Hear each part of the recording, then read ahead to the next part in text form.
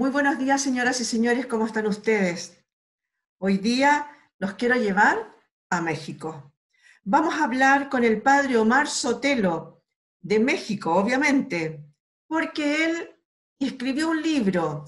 Es el director del Centro Católico Multimedial de México y también fue Premio Nacional de Periodismo otorgado por sus pares periodistas en Derechos Humanos, por las investigaciones que estaba realizando. ¿Cómo estás, padre? Muy buen, día, un gusto de que nos hayas recibido. Igualmente, Miriam, es un placer, es un gustazo volvernos a encontrar, aunque sea por este medio. Saludos a todos los televidentes y bueno, desde acá, desde la tierra mexicana, la tierra de la Morenita de Guadalupe, los mandamos un gran saludo. Oye, eh, padre, em, yo tuve ocasión de tener este libro en mis manos hace un tiempo ya, donde hicieron una investigación que demoró un, harto, un bastante tiempo, ¿no? Les demoró llegar a estas conclusiones de, este libro que estamos viendo hoy día. Eh, cuéntame un poquito por qué partieron, eh, partiste tú desde el comienzo, ¿cómo lo hicieron con este trabajo? Mira, esta investigación que nosotros empezamos a realizar, pues ya prácticamente son 10 años que nosotros hemos estado haciendo esta investigación, y un poquito más, yo creo, porque fíjate, yo, yo fui secretario de, la, de comunicación en la Conferencia del Episcopado Mexicano, este, ya hace un tiempo, ya hace un tiempo, y eh, como secretario de esta comisión, pues nos dábamos a la tarea pues también de recopilar información de toda índole. En aquella época, estábamos hablando del 2007, por ahí así, eh, pues ya veíamos que la situación de violencia en México pues estaba tomando ya matices bastante alarmantes. Eh, el crimen organizado ya estaba tomando posesión muy importante de, zonas del país. Incluso eh, había pues ya el tema recurrente de las famosas narcolimosnas, y todo este tipo de situaciones en las que, pues el crimen organizado, porque no solo es el narcotráfico, sino el crimen organizado, pues ya empezaba a alcanzar diferentes sectores de la sociedad. Entonces, mm, nosotros nos dimos a la tarea de ver cuáles eran los sectores que eran más afectados, sí, el empresarial, los campesinos y demás, pero eh, empezamos a darnos cuenta de que también el clero mexicano empezaba a sufrir el acoso y el hostigamiento de parte de miembros del crimen organizado. Yo empezaba ya este, a tener algunos encuentros con algunos compañeros míos sacerdotes, eh, principalmente en la zona de Guerrero, en donde ya me comentaban que, pues prácticamente ellos empezaban a trabajar en tierra de narcotraficantes y que eran acosados y que eran amenazados, incluso ya les empezaban a pedir este, algún dinero para la seguridad, ¿no? El famoso derecho de piso que se le llama eh, en algunas partes de nuestro continente y que ellos estaban muy, muy preocupados y empezaban a ver ya algunos eh, incidentes ya catastróficos, algunos eh, este, incidentes incluso mortales, desde el asesinato del cardenal Juan Jesús Posadas Ocampo, pues poco a poco este proceso se fue, se fue gestando, fue creciendo, pero mm, eh, nosotros poco a poco fuimos este, desenmarañando, desempolvando todos estos eh, hechos que, que, estaban ahí, pero que no se, no se veían, y nos dimos cuenta de que el sacerdocio en México pues ya estaba sufriendo un hostigamiento muy fuerte, un acoso muy fuerte, y poco a poco, año con año, empezaba a aumentar el número de sacerdotes agredidos, torturados, levantados, extorsionados y asesinados. Entonces, eh, nos, prácticamente nos dimos a la tarea de, investigar esto, de irnos a algunos lugares del país para que de, fuente directa tuviéramos esta información. Y es ahí donde poco a poco en nosotros pues vimos que las situaciones en México pues empezaban a tener pues tintes muy, muy, muy rojos eh, eh, en cuanto al número de sacerdotes asesinados. Entonces, este, por sexenios nos dimos a la tarea inclusive de investigar en el, en el, en el libro. Eh, nosotros pudimos ir investigando que por sexenios, por ejemplo, en el, en el sexenio de Carlos Salinas de Gortari, encontramos que hubo este, cuatro casos de asesinatos, incluido el, caso del cardenal Juan Jesús Posadas Ocampo. Después, en el, en, el, en periodo de Cedillo, que iba del 94 al 2000, se dieron tres casos de sacerdotes asesinados. En el caso de Vicente Fox, que fue del 2000 al 2006, se dieron cinco casos de sacerdotes asesinados, incluido un, diácono. Pero cuando llegamos al, al periodo de Felipe Calderón, del 2006 al 2012, verdaderamente fue un hecatombe, porque nos encontramos 17 sacerdotes asesinados, tres religiosos, cuatro laicos, incluso una periodista, una joven periodista este, católica, de un periódico católico, que lamentablemente fue, fue asesinada de una manera muy, muy, muy, muy brutal. Y llegamos al periodo de Enrique Peña Nieto, en donde pues prácticamente eh, nos encontramos con más de 20 casos de sacerdotes asesinados, eh, laicos, cinco laicos, y empezó a haber eh, secuestros, se, secuestraron a varios sacerdotes por fortuna, algunos de ellos pudieron salir o liberarse, obviamente con algunas situaciones muy, muy, muy complicadas. hay dos sacerdotes que están desaparecidos, el padre este, Juan Ornelas de Piedras Negras y el padre Santiago, que es de Michoacán, que pues prácticamente llevan ocho años desaparecidos y, no se sabe nada de ellos. Tuvimos también en este periodo eh, un atentado, literalmente atentado, un explosivo en la puerta de la oficina de la Conferencia del Episcopado Mexicano, que se encuentra en la Ciudad de México, está pues ahí grabado, y, el primer asesinato, el primer hecho de sangre dentro de la Catedral Metropolitana de la Ciudad de México, donde lamentablemente pierde la vida el padre Machorro, que terminando la misa fue atacado por un individuo y pues pierde, pierde la vida pocos días después. Entonces, eh, las incidencias pues fueron creciendo. Padre, cuéntame una cosa. Eh, en el estudio ustedes llegaron a alguna conclusión en el sentido de por qué a sacerdotes, ¿por qué religiosos? No necesariamente algunos eran sacerdotes, algunos eran laicos que estaban eh, dentro, digamos, de, del rubro, por así decirlo, religioso, pero eh, ¿por qué em, exactamente irse en contra de eh, los sacerdotes?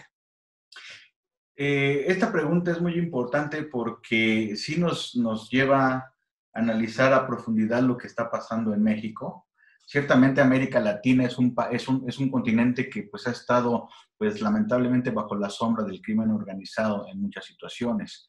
Pero México, eh, la evolución del crimen organizado en México, y, y, digo crimen organizado, no solo narcotráfico, pues ha tenido un crecimiento exponencial de tal, de tal magnitud que ha infiltrado diferentes sectores de la sociedad, ha infiltrado al ejército, ha infiltrado a la política, ha infiltrado otros organismos y, esto pues obviamente eh, ha impactado de manera tremenda a tal grado que en diferentes lugares de la República Mexicana se ha generado ya una narcocultura. Hay una narcocultura, hay una narcoeconomía, ¿sí? Hay una narcoforma de vivir, los famosos narcocorridos y formas de ser. Esto, esto inclusive pues ha impactado de manera tal en diferentes, diferentes partes de, nuestro país que hay sectores que han emigrado, ¿eh? hay pueblos que prácticamente han quedado en la desolación por, esta, por este impacto del crimen organizado en esas tierras, porque la gente no puede, ya no puede vivir porque se les cobra derecho de piso, porque pues es, prácticamente están invadidos por, por, la guerra de cárteles y de, y de sicariatos que se han dado en, la República Mexicana y hay, hay ciudades, hay poblados que prácticamente han quedado solos. Esto te lo, lo, comento porque de ahí nosotros empezamos a descubrir y analizar el por qué al sacerdote mexicano se le estaba hostigando, se le estaba prácticamente eh, eh, acosando de una manera tan directa y se le estaba asesinando nosotros nos dimos a la tarea de que en, el estudio que hicimos de los aproximadamente eh, el 80% de los casos que nosotros ya hemos investigado, hay, un, hay una especie de modus operandi. En este modus operandi nosotros descubrimos que el sacerdote ha sido acosado, ha sido amenazado, ha sido levantado, secuestrado, ha sido torturado de una manera brutal por el hecho de ser sacerdote, ha sido asesinado, que pues lamentablemente eso es eh, como quien dice, pues uno de los corrayos tremendos, pero también hay una característica que nos hizo ver y nos hizo analizar a profundidad el por qué. El sacerdote una vez asesinado, torturado, levantado y demás, también se le ha difamado.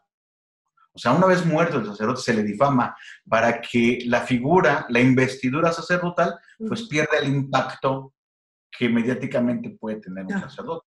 Entonces, cuando, cuando se asesina un sacerdote, muchas veces algunos, incluso gobernadores en, en, algunos estados de la República, han manifestado, pues lo mataron porque pues andaba de fiesta y andaba con unas chicas y andaba tomándose una cerveza y a un sacerdote, pues ¿cómo un sacerdote puede estar a altas horas de la noche en una fiesta y por eso lo mataron? Y lo mataron porque andaba con dos amigos y pues quién sabe qué estaba haciendo con esos amigos y en una fiesta y entonces la fiesta terminó y por eso lo mataron.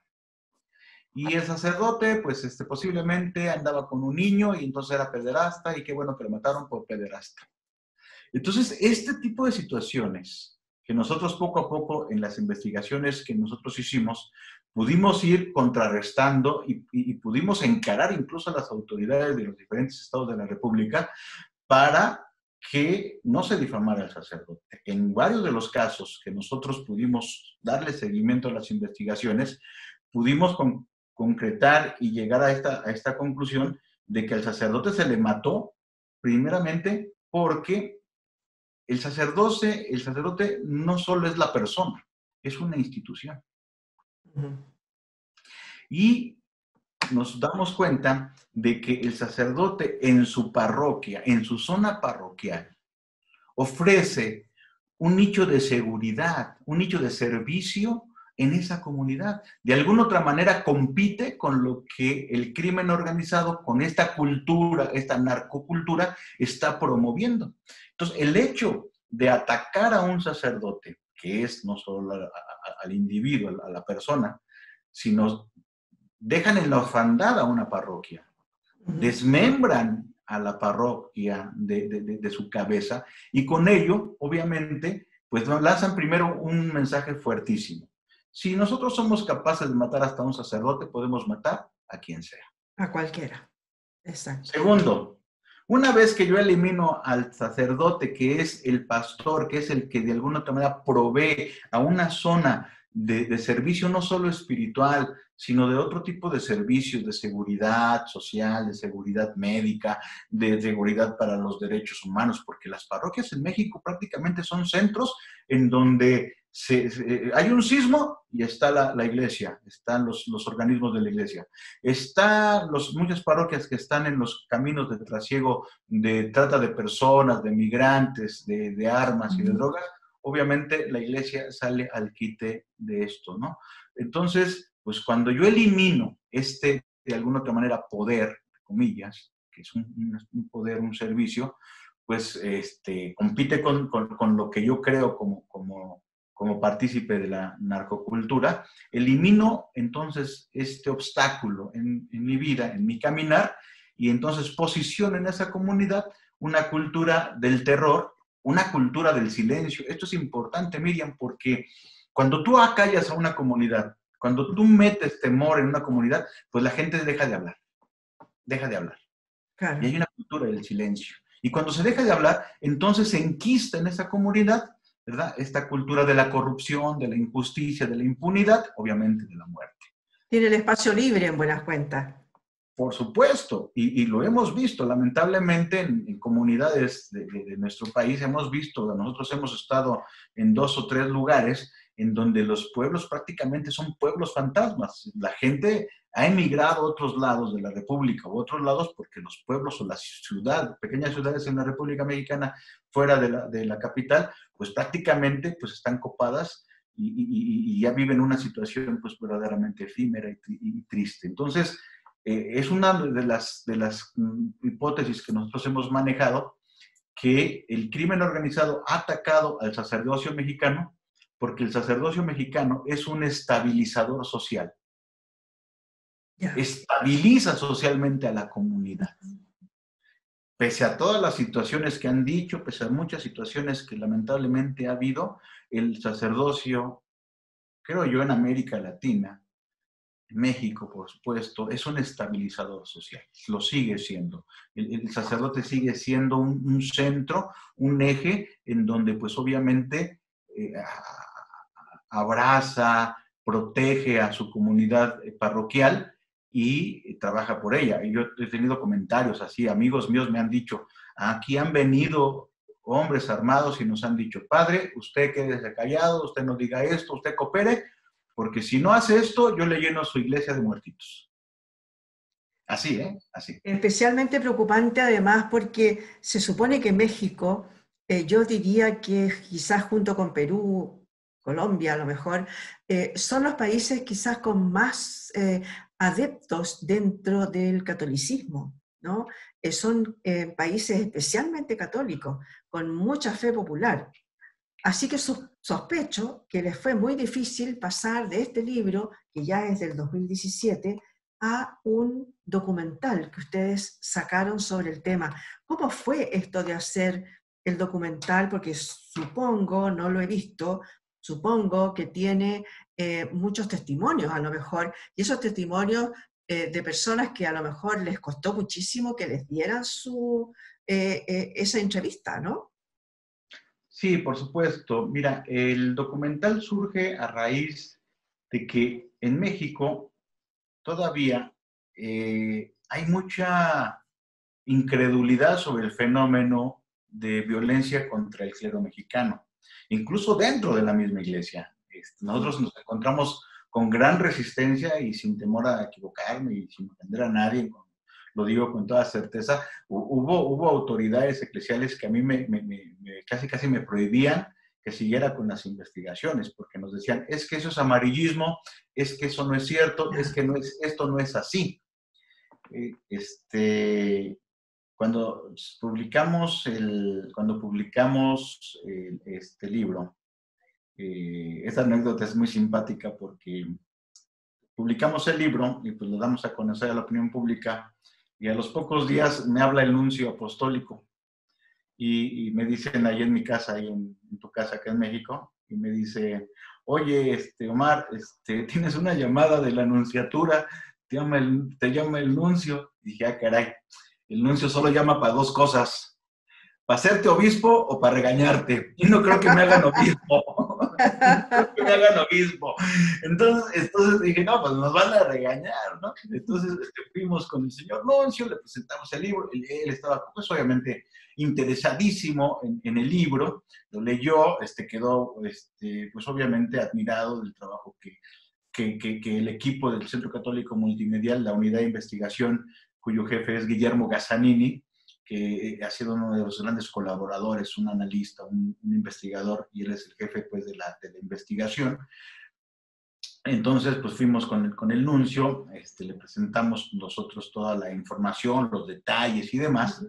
Y, pero al final, al final de la, de la plática con el nuncio, eh, eh, me decía que él no podía todavía entender cómo este, podría haber una especie de, persecución. De hecho, nosotros nunca hemos dicho que, que en, México, en México hay una nueva persecución contra sacerdotes, pero sí he dicho que el hostigamiento contra los sacerdotes es posiblemente mucho más, más peligrosa que aquella que se dio en el 29 con los cristeros.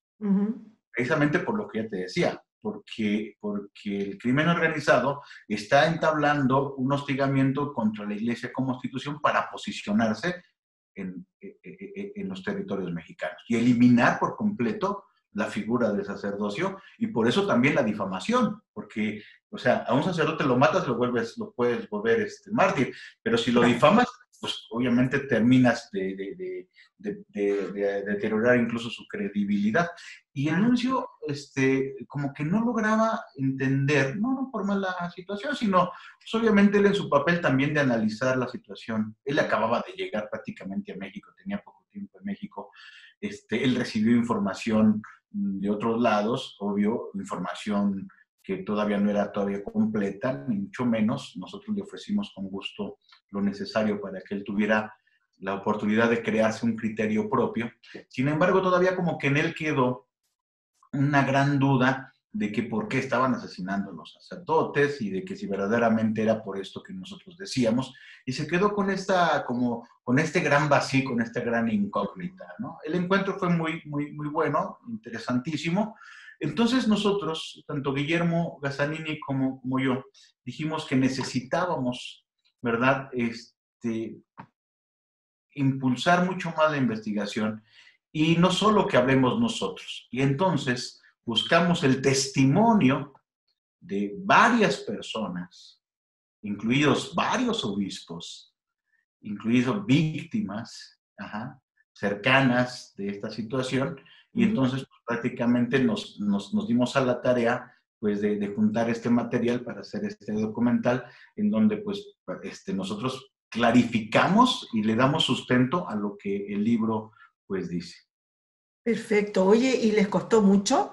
Les costó mucho las autorizaciones, la gente a lo mejor no quería dar sus testimonios. Me refiero, por ejemplo, a, aquellas personas que habían sido de alguna manera afectadas eh, indirectamente, ¿no? Pero muy cercanas a lo que había sucedido.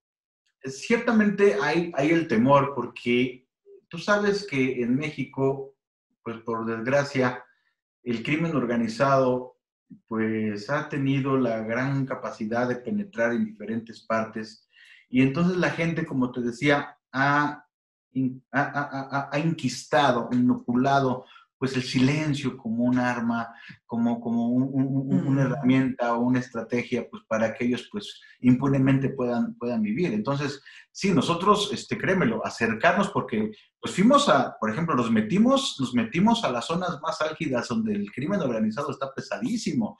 Eh, nosotros nos fuimos, en, nos fuimos, por ejemplo, a la zona a la zona caliente de Michoacán primero, a, visitar a algunos de los papás de algunos de los padres que fueron, que están desaparecidos. Y entonces, pues en las correrías nos íbamos metiendo entre, entre los caminos y llegamos a una zona en donde convergen, pues, tres cárteles, ¿no? Tres cárteles. Entonces íbamos en el, en el carro y yo iba pensando, ¿dónde pero estoy, no? O sea, ¿qué estoy haciendo aquí? Luego iba con mi camarógrafo y digo, y luego me traigo este, o sea, me traigo este hombre de Dios que tiene su familia, que tiene sus hijos. Digo, pues yo como sea, pues, pero yo, yo manejando, porque íbamos en la carretera sola, sola, nada más veía seguir los parajes, ustedes unos paisajes bellísimos, pero solo, solo, despoblado y los caminos. Y decía, no falta que nos pase un retén, que nos pare alguien o a ver qué nos hace, ¿no? Sí. Y yo bajando a toda la corte celestial, todo, total, de que pues fue difícil conseguir pues llegar a los lugares. Hablando con la gente, pues obviamente, este, con, al, principio pues tuvimos que hacer trabajo de concientización, este, acercarnos por medio también de, de, la gente conocida. Este, me acuerdo que fuimos a ver a, a los papás de, de, un padre que fue asesinado en Ciudad Altamirano, Ciudad Altamirano es un poblado que, está, que colide entre el Estado de México y Guerrero, aquí en México, y es uno de los, de los lugares donde más afectaciones hay del crimen organizado, de una manera tremenda. Al, padre, pues obviamente lo asesinan junto con dos seminaristas, este, posiblemente una situación ahí de, también de, de, estas cuestiones del crimen organizado, no quiero meterlo por respeto a la familia, en el, en el corto más o menos hablamos en el documental, hablamos un poquillo de eso, pero obvio, fue un trabajo de acercarnos a los papás, obviamente también de, de, acercarnos con mucha prudencia, porque es abrir una herida, es abrir la herida, pero también darles la oportunidad de hablar y de expresar una situación que pues ellos vivieron muy de cerca, ¿no? Muy de cerca. Eh, entonces, sí fue difícil acercarnos a esos lugares, o sea, llegar, por ejemplo, a Guerrero, a la zona de, cerca de Ayotzinapa, de Iguala, donde, donde lamentablemente asesinaron a tres jóvenes este, estudiantes. Entonces, ir por esas correrías, ir por esas tierras, este, llegar al lugar en donde asesinan a un padre comboniano, ¿verdad? Este, recuerdo que nosotros llegamos a Guerrero este, en la mañana y en la tarde fuimos a, consultar algunas cosas y en la noche este, había una balacera del tamaño del mundo, ¿no? Recuerdo que nos decía no salgan del hotel porque este, hay balazos. Al otro día efectivamente habían matado a varios candidatos a diputaciones y demás. Una cosa tremenda. Ese era el problema. El problema era llegar a los lugares el llegar a, esos sitios, ¿no? Y, tratar de pasar desapercibidos, porque tú sabes que en algunas comunidades, pues hay, hay gente que está viendo, les llaman halcones en México. Sí. Entonces, yo, recuerdo que estábamos en el centro de Ciudad Altamirano y fuimos a desayunar temprano, y entonces pasaba una motocicleta, pasaba otra motocicleta, y luego pasaba y nos veían, ¿no? Y decía, no, pues estos cuates están viendo a ver qué están haciendo se habían dado cuenta, obviamente, que ustedes no eran de ahí. Que, eh, ese, ese realmente era el, la situación, la dificultad de acercarte a los lugares, de meterte a, la, pues prácticamente a la cueva de León, ¿no? Y supongo que también que convencer a, a los testigos, porque eh, no es fácil, después ellos quedan viviendo ahí, ustedes se van, pero ellos quedan viviendo ahí, entonces no se sabe qué tipo de represalias pueden haber, ¿no? Exacto, digo, fue un trabajo que se hizo muy profesional, eh, nos costó tiempo, no fue de la noche a la mañana, porque fue hablar con, con amigos y familiares cercanos, de irnos acercando poco a poco para que ellos también vieran que el proyecto pues, era serio y que de alguna otra manera el testimonio de ellos era importante, pues para dar a conocer una realidad que en México pues está, e, e, está ahí presente y que algunos, como te decía, pues todavía no, no, no, han terminado de creer que es un hecho que sí está afectando pues a la Iglesia de México o en sus sacerdotes. Y obviamente a México completamente en, su gente. Muchas gracias, Padre Omar, por habernos eh, recibido hoy día. Eh, solo dejar ahora una invitación eh, a ver este, este documental que Canal ISB va a transmitir el lunes 14 a las 20.30 horas. Muchas gracias, padre, por habernos recibido. Yo sé que estás bien ocupadito. ¿Cómo está con el tema de la pandemia por allá? Fíjate que, pues la pandemia sí nos ha pegado, nos ha pegado bastante fuerte. Eh, pues prácticamente estamos entre los 68 mil fallecidos. Eh, pues ya un número bastante de, de, contagiados, 200 y tantos mil, no, no tengo el dato completo, pero sí 67 mil fallecidos, 67, 68 mil fallecidos. Eh, algunos sectores de la, de la República ya como que minimizaron la situación, están, está controlada en cierto punto. No ha habido saturación en los hospitales, no ha habido así grandes escenas drásticas en donde veamos que la gente muere en las calles o ese tipo de situaciones, ¿no? Al principio como que hubo la alarma, la alarma. Sí, sí. Este, obvio, obvio que pues no hay, no hay gobierno que esté preparado ante esta situación. Yo no justifico las cosas que, cosas buenas o malas. Simplemente creo que el gobierno mexicano ha hecho lo que tiene que hacer como todos los gobiernos en, el mundo. Que una pandemia es una pandemia y difícilmente puedes actuar ante ello.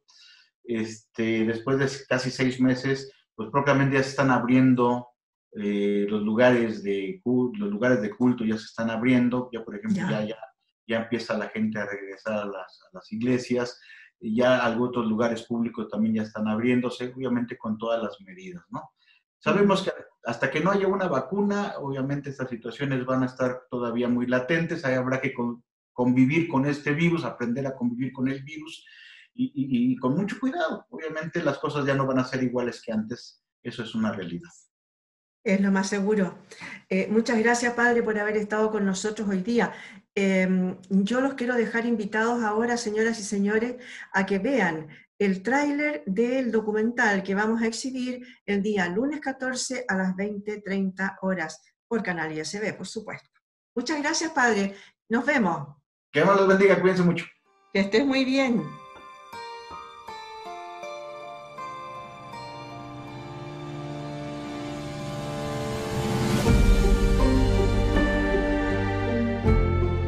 Las 6 y luego secuestraron como a las 7 por ahí.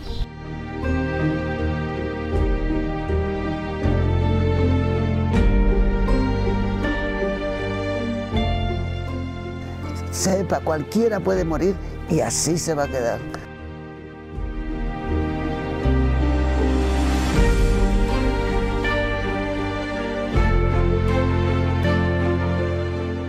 Si a un consagrado lo asesinan, pues es más fácil que nos asesinen a, todos los demás, ¿no? Y en todos los lugares donde trabajamos los sacerdotes, estamos trabajando en territorios de narcotraficantes